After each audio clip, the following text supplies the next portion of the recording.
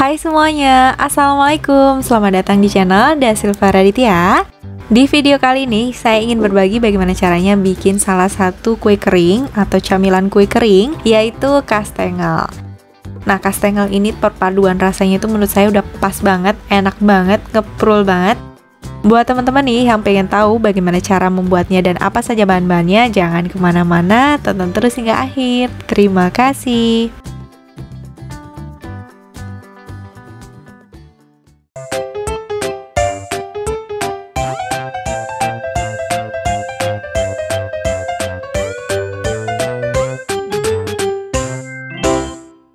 Oke ini dia bahan-bahannya untuk membuat kastengel. Sangat simpel banget kan? Langsung aja kita ke bahan yang pertama. Di sini ada 500 gram tepung terigu protein sedang atau di sini saya menggunakan segitiga biru. Kemudian 250 gram keju cheddar, ini saya menggunakan craft cheddar. Setelah itu di sini ada 200 gram butter, ini saya menggunakan anchor. 175 gram margarin, untuk margarinnya saya menggunakan blue band. 2 butir kuning telur, 2 sendok makan gula halus atau ini opsional aja. Untuk gula halusnya bisa pakai, bisa enggak. Jadi bisa disesuaikan dengan selera aja. Kemudian untuk bahan polesannya, saya menggunakan 2 butir kuning telur ditambah dengan 2 sendok makan minyak. Langsung kita ke cara membuatnya. Langkah yang pertama, di sini akan saya sangrai terlebih dulu untuk tepung terigu protein sedangnya. Nah, di sini untuk menyangrai tepung terigunya, kita gunakan api yang kecil, nggak perlu sampai kecoklatan. Pokoknya sebentar aja udah cukup, kemudian bisa kita sisihkan dan bisa kita dinginkan. Kita sangrai tepung terigunya untuk menghilangkan kadar airnya supaya nanti renyahnya semakin awet. Kemudian langkah berikutnya kita siapin wadah ini untuk mengaduk menteganya atau e, butternya Kemudian margarinnya kita masukin, jadi margarin dan butter itu beda ya teman-teman. Kalau kedua bahan ini udah masuk, di sini akan saya aduk dulu sebentar menggunakan whisker. Jadi saya nggak perlu menggunakan mixer. Kalaupun teman-teman mau menggunakan mixer boleh aja, gunakan kecepatan yang paling kecil atau paling minimal.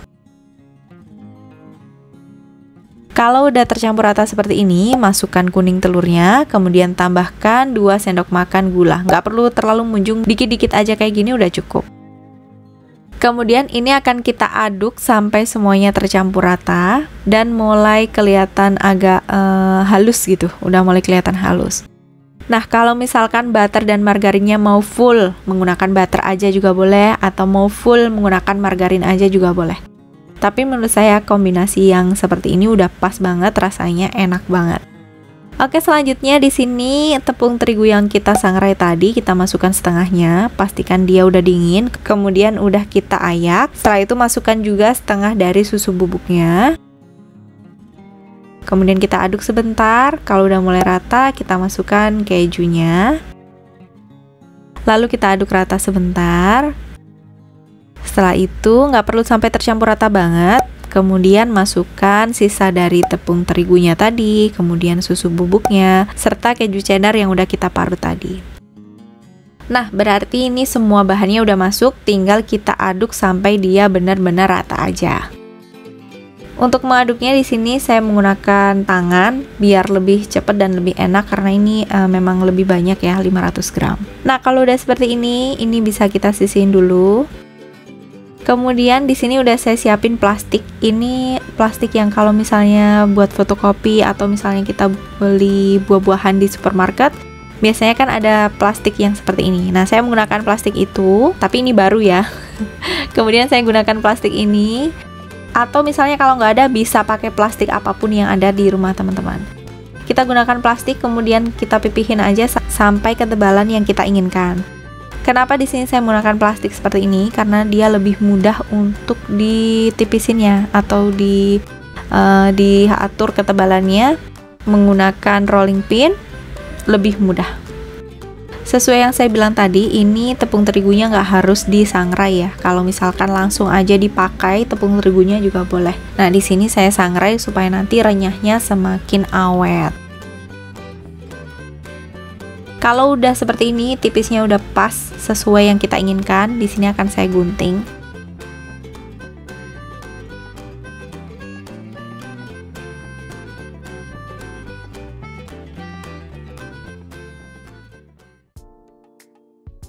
Kemudian kalau udah kita gunting tinggal kita cetak aja. Di sini saya menggunakan cetakan nastar yang super murah. Tinggal kita tekan aja sampai dia semuanya seperti ini. Kemudian bisa kita taruh di atas loyang. Kita tekan. Kalau udah selesai, ini ketebalannya pas dengan cetakannya ya. Tinggal kita tata aja di loyang yang udah kita alasin dengan baking paper. Kita lakukan sampai semuanya habis ya untuk adonannya.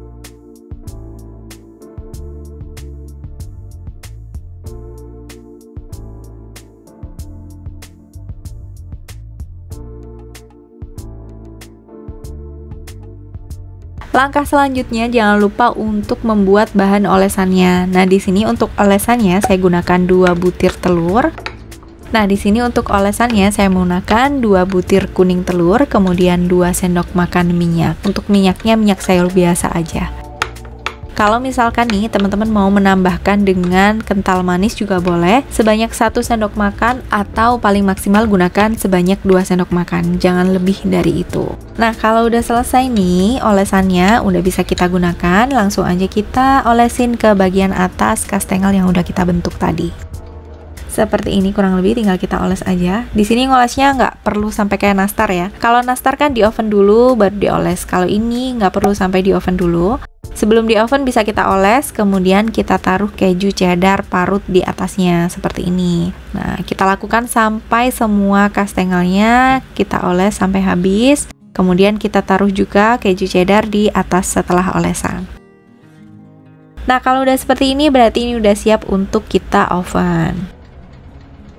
Jangan lupa seperti biasa saya akan mengingatkan teman-teman panaskan dulu ovennya di suhu 180 derajat celcius selama kurang lebih 15-20 menit menggunakan api atas dan bawah. Panasin aja sampai suhu oven di dalam ini mulai stabil. Sesuaikan aja dengan oven masing-masing Kemudian masukkan kastengelnya, lalu kastengel ini akan kita panggang di suhu 150 derajat Celcius selama kurang lebih 40 menit di oven saya ini ya, menggunakan api atas dan bawah atau bisa disesuaikan dengan oven masing-masing aja untuk tingkat kematangannya. Nah, di sini akan saya masukin lagi untuk loyang yang kedua. Tapi loyang yang pertama ini udah saya panggang terlebih dulu sekitar 20 menitan. Kemudian loyang yang paling bawah ini saya taruh di bagian rak tengahnya. Kemudian yang mau saya masukin ini saya akan taruh di bagian bawah karena dia bagian atasnya nanti mudah kering kalau misalkan ditaruh di rak tengah. Nah, sambil menunggu itu matang, saya bentuk lagi aja di sini sesuai yang saya bilang tadi. Saya tetap menggunakan plastik, kemudian ini saya gunting aja seperti ini. Kemudian bisa kita cetak sesuai cetakan yang teman-teman punya. Kalaupun nih teman-teman nggak punya cetakan seperti ini, nggak apa-apa nggak masalah, tinggal diiris-iris aja menggunakan pisau juga boleh. Nah, di sini setelah 40 menit bagian atasnya, bagian atas kastengel atau di rak tengah ini udah matang, tapi di rak bagian bawah ini masih belum. Saya biarin aja dulu. Nah, ini dia. Ini dia kastengelnya. Nah, kalau udah seperti ini, kita sisihin dulu, biarin dingin. Kalau udah ada loyang yang berikutnya, bisa kita masukin nih. Kita pindahin yang bagian bawah ke atas atau ke tengah Kemudian yang paling bawah akan kita isi loyang yang berisi kastengel yang baru. Nah, kayak gitu caranya. Kalau saya ya, tapi bisa disesuaikan aja dengan teman-teman mau seperti apa untuk mengoven kastengel ini. Nah, kalau udah dingin, kastengelnya udah dingin, bisa kita masukin ke dalam toples. Ini enak, bener-bener renyah banget, enak banget. Teman-teman harus cobain bikin ini pastikan ya udah dingin baru kita masukin ke dalam toples biar dia benar-benar bertahan untuk uh, keawetannya. Seperti misalnya dia nggak mudah berjamur biar dia lebih uh, lama untuk crispy-nya. Jadi biarin dingin dulu di suhu ruang. Kemudian kalau udah bisa kita masukin ke dalam toples seperti ini. Cantik banget. Untuk satu resep ini hasilnya adalah tiga toples.